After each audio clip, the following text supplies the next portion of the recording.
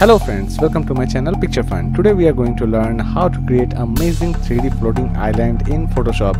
The tutorial is very easy, just follow the mouse button and you can learn everything. So enjoy the tutorial.